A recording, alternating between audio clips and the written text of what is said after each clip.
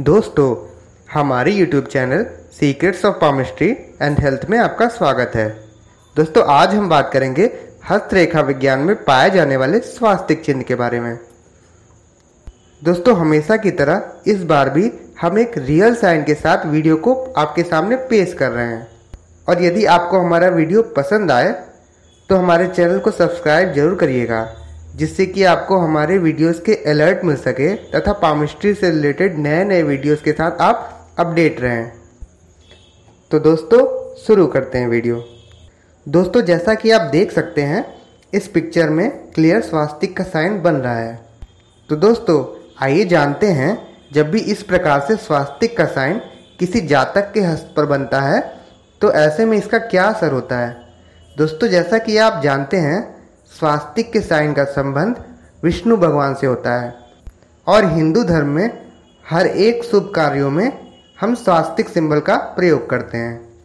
उसी प्रकार से दोस्तों, यह स्वास्तिक का साइन हथेली पर कहीं पर भी हो, यह एक बहुत ही शुभ तथा लकी माना जाता है। दोस्तों, हथेली पर यह स्वास्तिक का चिन्ह कहीं पर भी हो सकता है।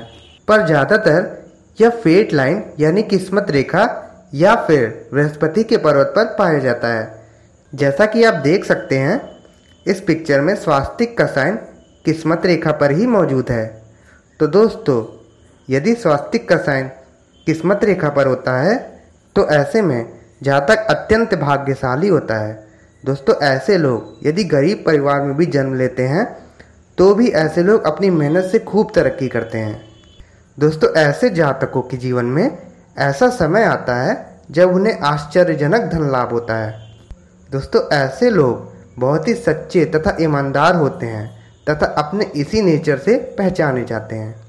वहीं दोस्तों, यदि स्वास्तिक का चिन्ह गुरु पर्वत पर होता है तो ऐसे में जातक अपने जीवन में खूब धन तो कमाता ही है तथा उसके साथ साथ अपना तथा अपने परिवार का खूब नाम रोशन करता है। दोस्तों, ऐसे जातक लोगों के लिए मार्गदर्शक की तरह होते हैं, तथा जो कोई भी इनके जीवन में इनके संपर्क में आता है, वे लोग भी खूब तरक्की करते हैं। तो दोस्तों, हम बात कर रहे थे हथेली पर पाए जाने वाले स्वास्थ्य चिन्ह के बारे में। आशा करते हैं आपको हमारा वीडियो ज़रूर पसंद आया होगा, और हमारे वीडियो को लाइक तथा चैनल को सब्सक्राइब करना ना भूलें। धन्यवाद।